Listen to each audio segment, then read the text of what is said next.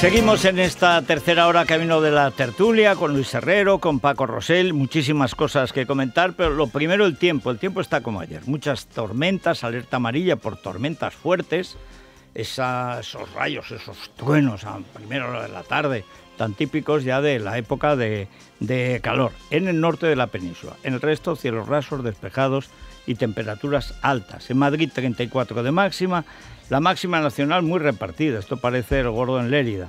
Badajoz, Gerona, Lérida, Jaén, Toledo y Zaragoza 36 grados y la mínima Burgos, bueno, una mínima, 13 grados. Bueno, vamos con Sara Muñoz y con Sara Sanz, perdón, y Daniel Muñoz. Uy, lo que he hecho. Uy, lo que he hecho. Una casa de otro novio. Bueno, estas cosas pasan. ¿eh? Eh, ayer, ayer tuvo lugar uno de esos episodios de, Cateto, Cateto a favor. En la República de los Tontos decían que era bienvenido Mr. Marshall. No, no, bienvenido Mr. Dummy, Mr. Tonti. Tonto hasta almorzar y después todo el día. Pero vamos a ver. O sea, ¿cómo se puede hacer una rueda de prensa eh, en la que un señor va hablándole a, un señor que mira al frente, que es la momia Biden, que es momia. Yo no tengo nada a favor ni en contra de las momias. Si uno es momia, es momia. Bastante es que puede andar. Claro, se ve que anda como el caballo viejo con su pasito apurado. Va con su pasito mirando al frente. En ningún momento Biden mira ni sabe quién tiene al lado. Allá hay un señor grande que gesticula. Se para a ver si así se para la momia. La momia que se va a parar, la momia está en otro mundo, la momia va a sus asuntos, Osiris y esas cosas, lo que tenga que tratar en el más allá, en el más acá. Eh, ahora me aparezco a este, ahora mm, la maldición de Franco Camon la aplico a este merluzo. Ni, ni mira, o sea, ni siquiera ojea. No, no, es que no mira. No sabe si es un camarero, si es alguien que quiere un autógrafo. La momia va por su pasillo. Y el otro va, gesticula, se para, la momia no se para, entonces corre y, ya, y ya han llegado, porque son 29 segundos cronometrados.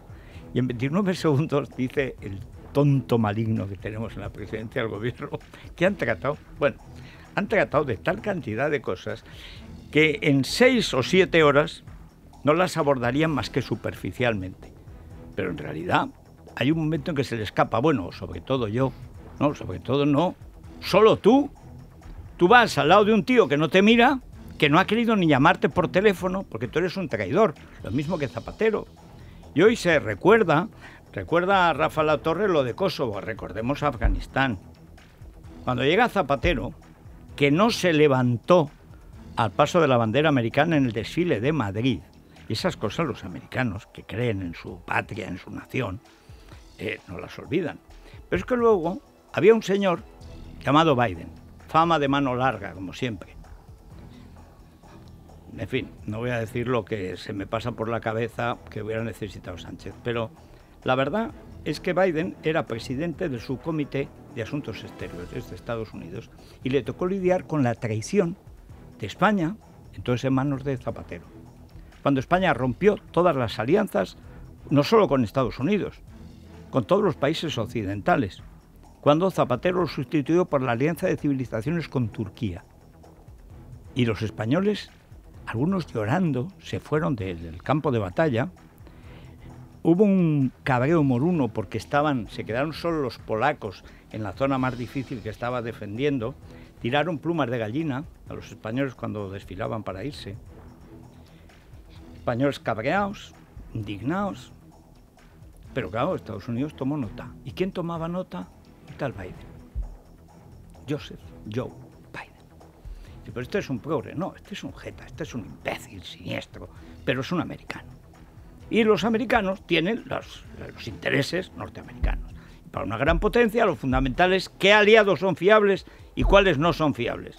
El aliado menos fiable en los últimos 15 años que ha tenido Estados Unidos es España, que traicionó todos sus compromisos.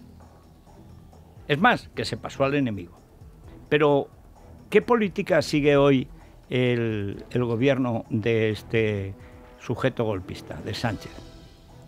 Del, ¿sí? del que va dándole conversación a la momia. la de Zapatero corregida y aumentada. ¿Qué es España?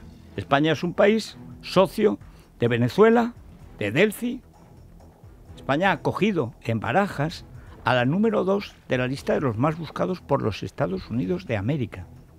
España ayer en el Senado votó en contra de un disidente cubano, votó a favor de la dictadura cubana. España eh, se ha convertido, de hecho, Borrell ha sido condenado por favorecer a Cuba desde el puesto que ocupa en el gobierno de la Unión Europea. España es simplemente un aliado del narco. Para América, España es un aliado del narco del Caribe. Amigo además de los Kirchner, de los nicaragüenses de Daniel Ortega, en fin, del Perú si finalmente se consuma el robo de las elecciones eh, peruanas, etc. Es decir, España no solamente ya no es un país europeo, es mucho menos fiable que Marruecos. Entonces, hombre, menos, mucho menos fiable que Marruecos. Marruecos en los últimos 40 años ha sido fiel siempre a Estados Unidos. Tan fiel que con Trump ha reconocido a Israel. Para un país musulmán reconocer a Israel es jugársela de verdad. Y lo ha hecho. ¿Qué ha hecho España? España acoger a Delsi, proteger a Cuba, amar a los eh, Kirchner, que son una banda de, la peor gentuza del mundo. España tiene a los comunistas en el, gobierno, no en el poder, en el gobierno.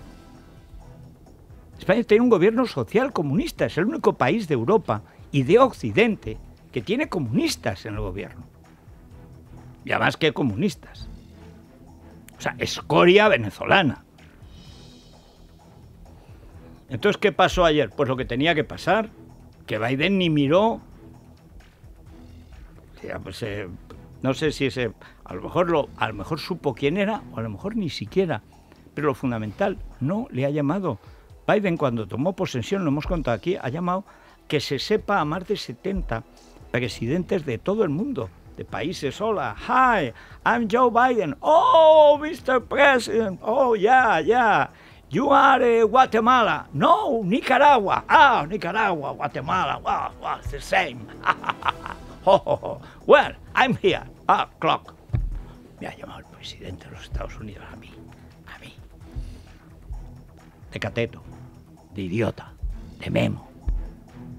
Un país vale, la política exterior, lo que vale en su política interior y lo que considera él que vale. Un tío que quiere cargarse España para seguir dos años en la Moncloa, ¿cuánto vale? No vale nada. ¿Cuánto vale ese país? Menos. Esta es la realidad. Pero luego ya llega el lado ridículo, que da una rueda de prensa en la que dice que en 29 segundos, que están contados, 29 segundos, trataron de una más cantidad de cosas que las Naciones Unidas en los últimos cinco años. Por supuesto con el mismo resultado. El gobierno de España y Pedro Sánchez vuelven a quedar en ridículo al tratar de convertir una conversación de pasillo de tan solo 29 segundos en una reunión formal de jefes de gobierno. El presidente de España, sin embargo, daba cuenta de una fructífera reunión. Ayuso y Almeida coinciden a la hora de calificar la escena decirle que me, yo no tengo un cronómetro de cuánto me he reunido o no con el presidente de Estados Unidos, pero le puedo garantizar que ha sido un poco más de esos segundos que usted hace referencia. Hemos tenido eh, precisamente una, breve conversación y posteriormente un breve paseo, porque así nos lo estaban pidiendo los servicios de la OTAN para eh, eh, pasar a la sala de reuniones. Y ya he hablado más tiempo del que ha durado la cumbre bilateral a pie de Sánchez con el presidente de los Estados Unidos, conocida a partir de hoy como la cumbre de los 26 pasos. Es un drama la irrelevancia de Pedro Sánchez y por tanto el Gobierno de España en el ámbito internacional, que uno de los que debería ser los principales aliados en el mundo de Estados Unidos, España, le concedan 24 segundos después de seis meses en un pasillo, a mí me parece que al margen de las chantas que podamos hacer, lo que revela desde luego es que como país no tenemos la influencia que deberíamos tener. Bueno, dice, nos han perdido los servicios de la OTAN, que fuéramos, que servicios de la OTAN. A ver si es que fue al servicio.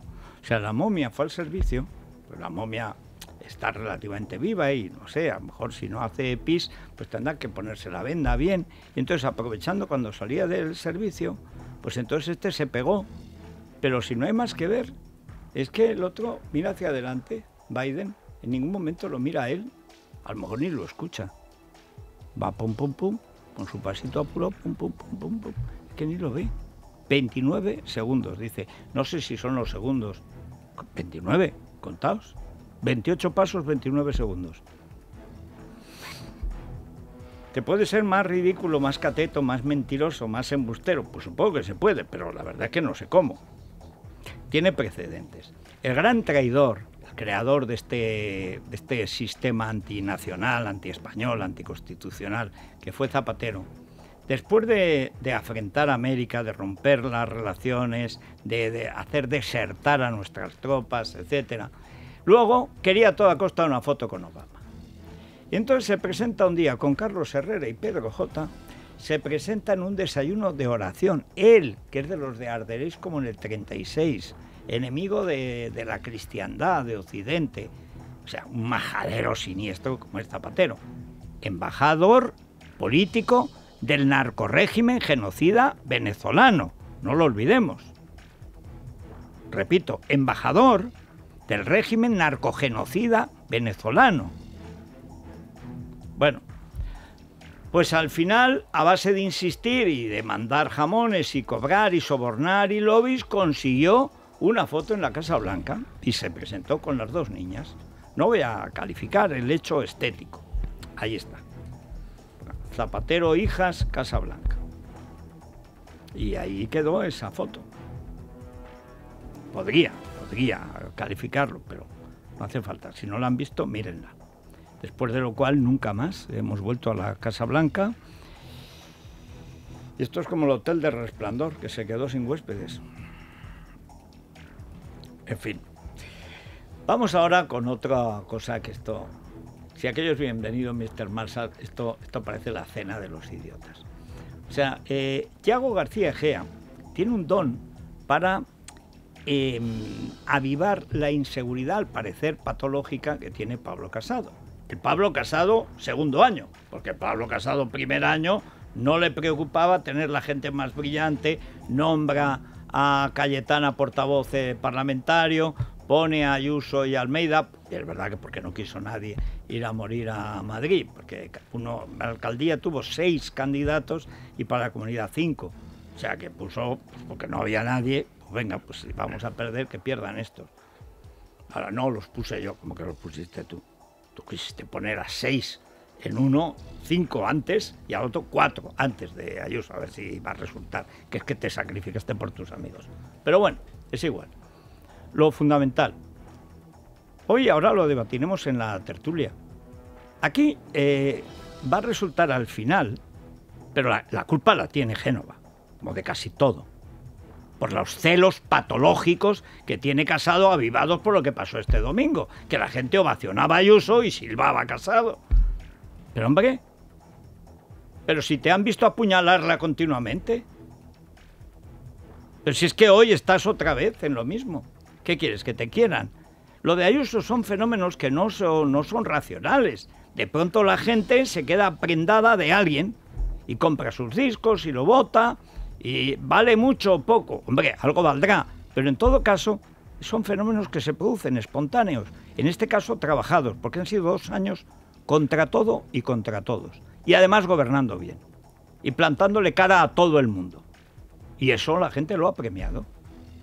Pero te recuerdo, te recuerdo, Teodoro, para que se lo digas a Pablo, que vosotros en el mes de septiembre ya dabais por liquidada a Ayuso. Que no iba a poder, que no iba a poder, que además hay que ver, ya sabéis cómo es Isabel, ya empezaba lo mismo, la propaganda de la izquierda, ida loca, zumbada, no sabe lo que hace, a quién se le ocurre, ahora abrir los, las escuelas va a haber contagios.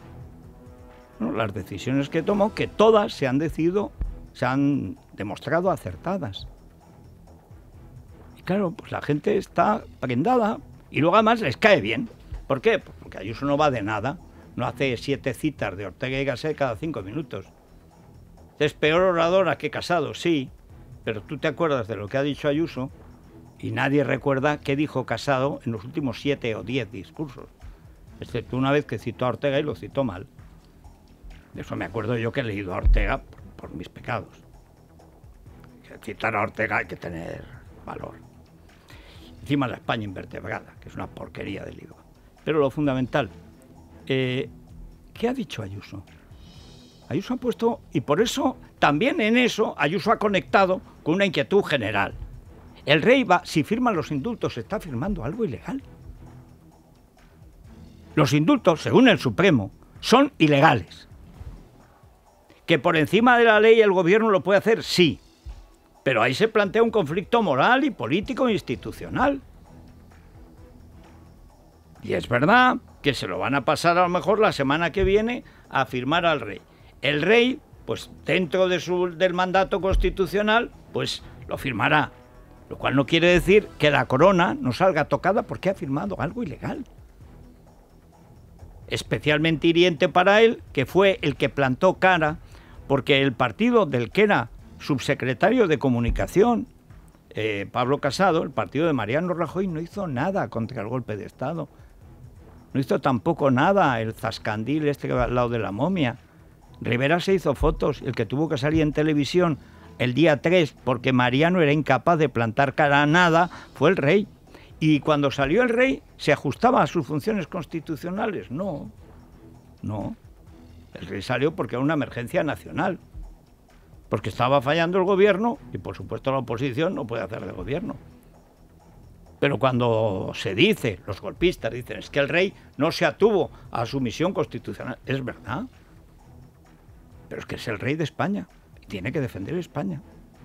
Y por eso los españoles les duele que el rey firme algo que es ilegal, antiespañol, antidemocrático y quiere destruir nuestro país. Es normal. Es que eso es lo lógico. Y meter al rey en un compromiso, vamos a ver, el compromiso lo mete Sánchez. Pero ¿qué pasa? Que si no lo dice Ayuso, la gente no se va a quedar mosqueada, indignada y dolida por ver al rey firmar esa basura. Repito, ilegal. Además de inmoral y abyecta. Pues claro, pues naturalmente. Pero viene, viene Teodoro con su capacidad casi ilimitada, olímpica, de meter la pata. Y entonces, como odian por celos, por puros celos, Ayuso, porque la gente quiere a Ayuso y no quiere a Pablo, y a Teodoro no lo quieren ya ni en Murcia. Pues son celos, pero celos de, de niños. Repito, casado, primera época, no tenía ningún problema con eh, poner a Cayetano Álvarez de Toledo. Casado, segunda época, pone a Cuca Gamarra, que como si pongo yo a esto que está desconectado. He visto en la convención que anunciaron ayer. Dice, se va a tratar el feminismo amazónico de Cayetano Álvarez de Toledo y el más clásico de eh, Cuca Gamarra y ¿cómo se llama esta señora que fue ministra de Ana Pastor? Ana Pastor. Ana Pastor, doña Urraca, o sea, Cuca Gamarra, la nada. el feminismo amazónico fue una broma de Cayetano Álvarez de Toledo. Pero claro, entre el Amazonas y esto elegirán el Guadiana, que es que son feministas, depende van al orgullo, van también al 8 de marzo. Al, al infectódromo acudió Cuca. Pudo con el virus, más se le ve robusta, fuerte. No es Carmen Calvo, que ya estaba mal y se ha quedado para allá. Pero, pero, pero, ¿de qué vais? ¿Pero de qué vais? Pero si sois algo gracias al poder regional que tiene Feijó en Galicia, Ayuso en Madrid y Bonilla Moreno, Juanma, en Andalucía. Eso es lo que es el PP.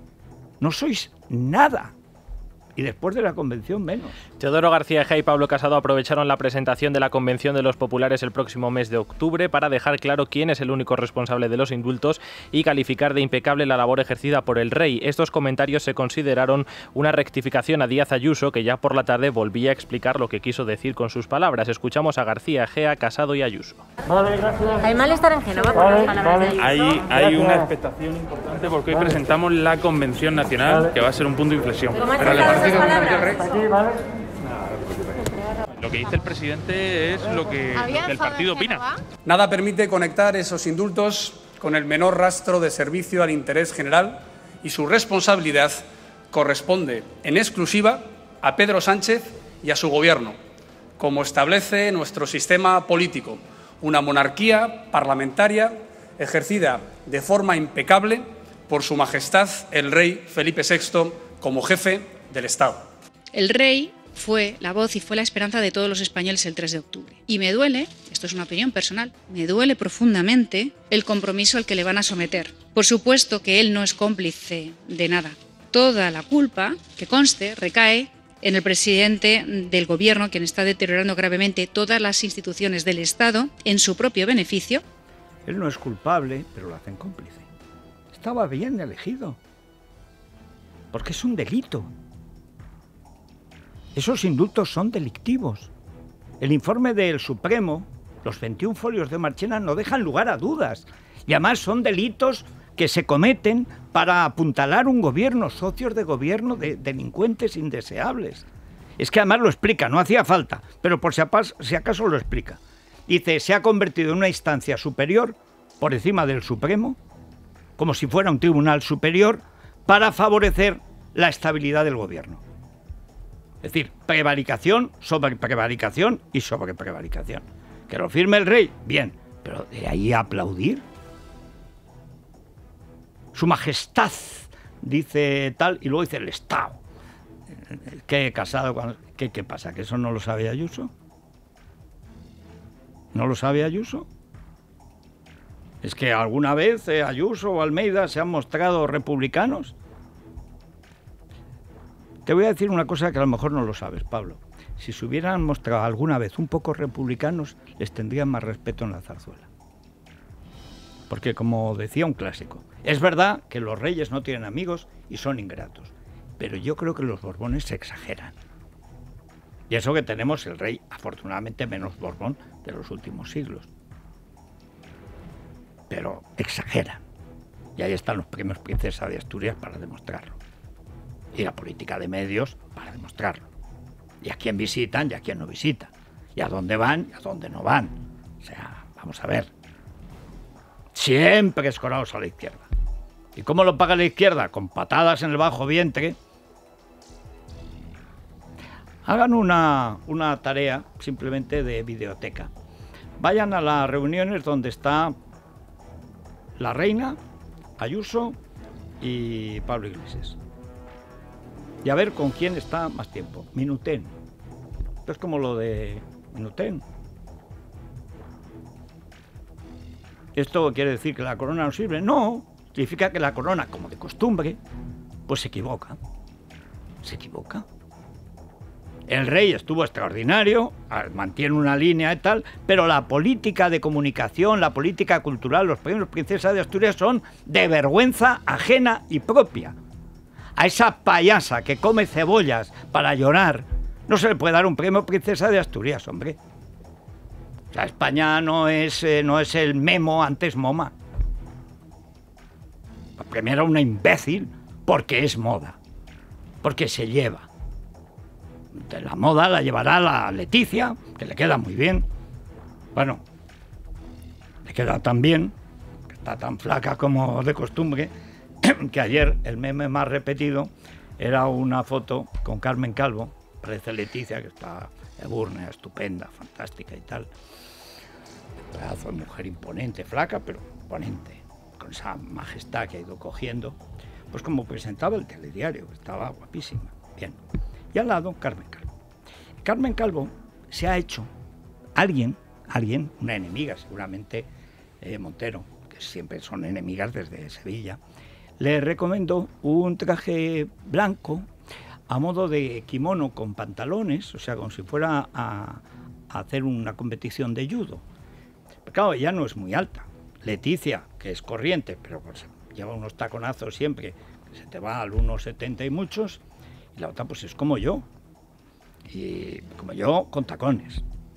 Pero además, si yo me pongo un mono de judo eh, con los pantalones anchos de dos tallas más, pues claro, si me pongo al lado del rey, dirá, hombre, pues se pone al lado de Leticia. Y lo del judo no sería grave si no tuviera unas manchas negras que han hecho que el meme que más corría ayer dice, mira, Leticia ha adoptado un dálmata.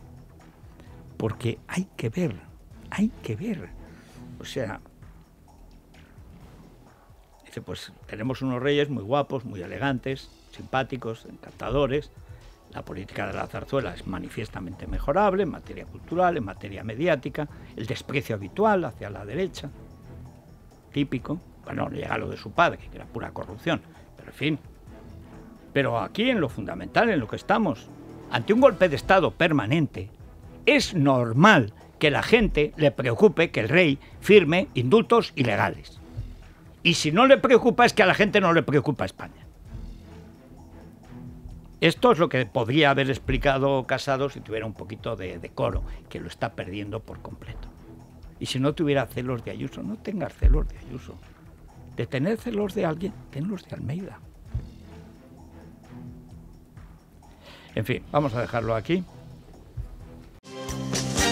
Home Plus, vamos a mandar la casa del Dálmata, o sea, de Carmen Calvo, tenemos que mandar Home Plus. ¿A la de Cabra o a la de Madrid? Eh, yo creo que a la de Madrid. Vale, pues La bien. de Cabra, bueno, alguien decía, no es un Dálmata, es una vaca, porque es verdad que también tiene las manchas esas. La de Milka, pero en versión morena, ¿no? Exacto, pero, pero, pero menos eh, dulce.